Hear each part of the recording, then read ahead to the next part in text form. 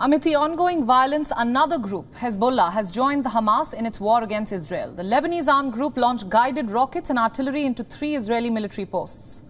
This has further fueled the fear of a broader regional spillover. So, who are Hezbollah? Why are they backing Hamas? Why has their presence raised concerns of an escalation? What are the other factions that have joined the war? Here's what we know so far Hezbollah is a powerful armed group backed by Iran. It was founded in 1982 during the Lebanese civil war. Over the years, it has transformed from a shadowy organization to West Asia's largest, most heavily armed militant group. Iran and its Islamic Revolutionary Guard Corps provided funds and training for Hezbollah.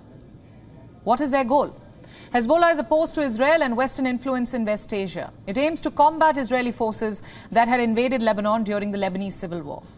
Israel's military operation had aimed to eliminate Palestinian Liberation Organization's presence in Lebanon, but it also led to the occupation of parts of southern Lebanon.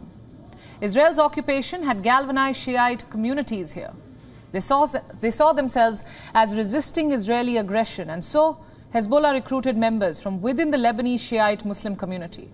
After Israel's withdrawal in 2000, the conclusion of the civil war, Hezbollah, with the support from Iran, assumed the role of Israel's main enemy in Lebanon. The armed militia plays a key role in spreading Iran's influence through the Arab world. And so Hezbollah's backing of Hamas is a major concern. It fears that Hezbollah could provide Hamas with advanced weapons and training.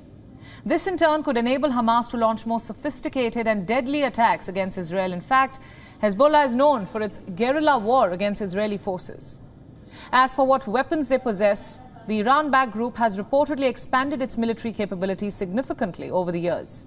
It claims to have 100,000 well-trained fighters. They say they have precision-guided missiles, missiles that can reach anywhere in Israel.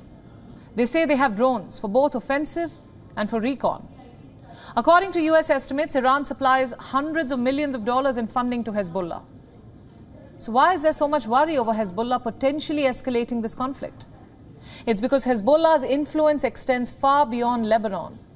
It maintains deep ties with other Iran backed factions in the region, including Palestinian groups like Hamas and Islamic Jihad. And amid the ongoing war between Israel and Hamas, Hezbollah has claimed direct contact with the Palestinian resistance leadership. On Sunday, it launched rockets and artillery into three Israeli military posts. They said it was in solidarity with the Palestinian people. Hezbollah congratulated Hamas for the attacks. The group said the attack is a response to Israel's crimes.